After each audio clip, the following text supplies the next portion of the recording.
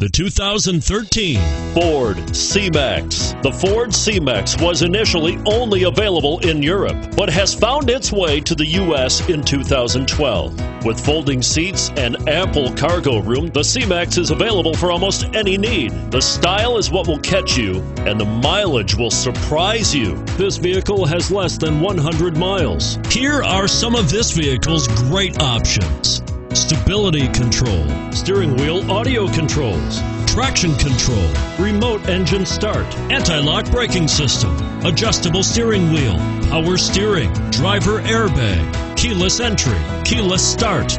Is love at first sight really possible? Let us know when you stop in.